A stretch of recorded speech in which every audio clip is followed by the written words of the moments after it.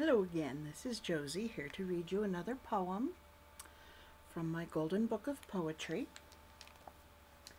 And this time we're going to look at What the Winds Bring by Edmund Clarence Stedman.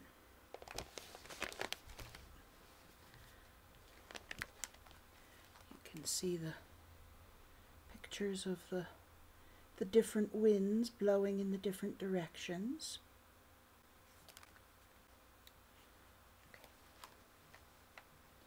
What the winds bring. Which is the wind that brings the cold? The north wind, Freddie, and all the snow, and the sheep will scamper into the fold when the north wind begins to blow.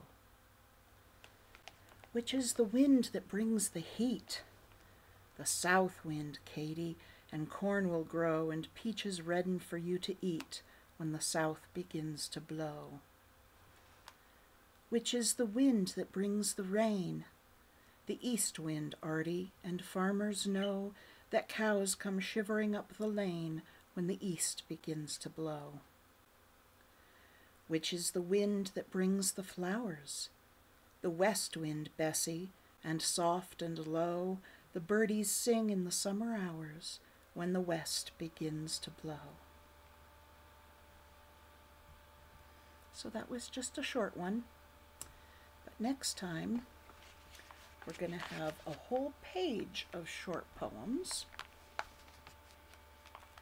because there's a whole bunch of little ones. So, I will see you next time for taxis and the cow and the serious omission. Thanks for coming by. Bye-bye.